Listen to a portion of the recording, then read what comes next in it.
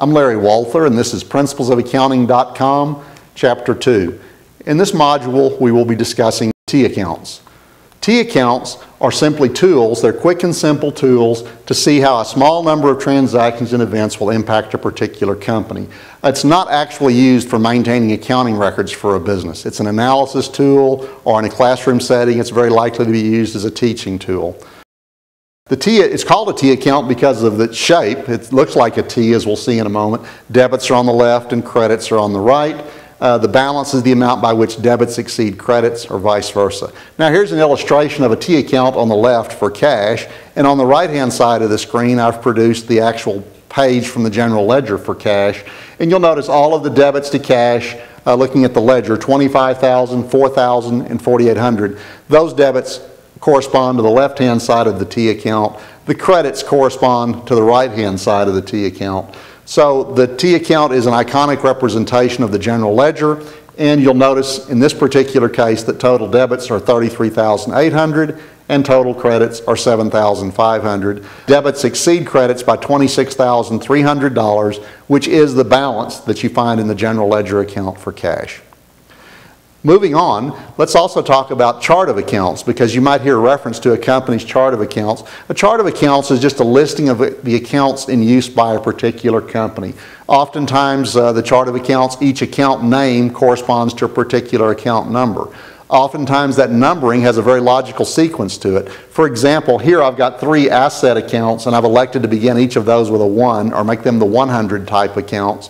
Similarly, liabilities might be the 200 type accounts and so forth. That allows someone to quickly look at the chart of accounts and the corresponding balances for each account to know whether they are asset accounts or expense accounts or whatever they might be. It further allows uh, ease of division. If, if a company has five bank accounts, say cash is account 101, you might have account 101.1 for A bank 101.2 for B bank, 101.3 for C bank, and so on. So it gives you tremendous flexibility to add accounts, subdivide accounts, maintain accountability over those accounts.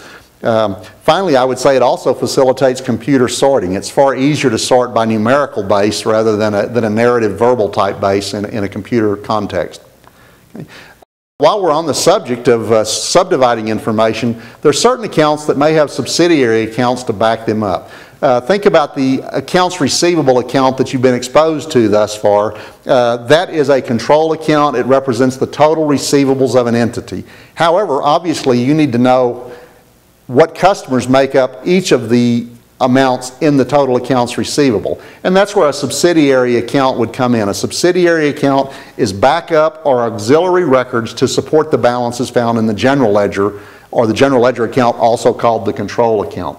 Uh, it's important that you reconcile your subsidiary and control accounts. Here I have an example. In this particular case, I've got the accounts receivable general ledger account on the left. It's the green looking account.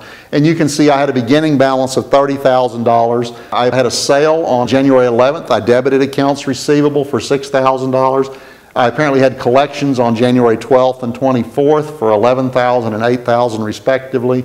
And then I had another sale for $2,000 on January 30th. Well, that gave me, if we look at the general ledger account, I know that I'm owed $19,000 in total. What I don't know is who owes me that amount. So I've got the subsidiary accounts shown for Compton, Fisher, Sunderman, and more. And you can see which transactions related to which customer and what the balances are. Notice it's important in the reconciliation that the $19,000 total be identifiable by individual customer. What other accounts, in addition to accounts receivable, might involve subsidiary accounts? Well, uh, you would also have the potential for subsidiary accounts related to accounts payable. Uh, you would have this, this, potential for subsidiary accounts related to your land, buildings, and equipment to show not only how much you have in total, but what individual accounts comprise that, or what individual amounts comprise that amount in the ledger. Uh, there's any number of opportunities where you may find it beneficial to have subsidiary records to back, back up the amounts found in the general ledger.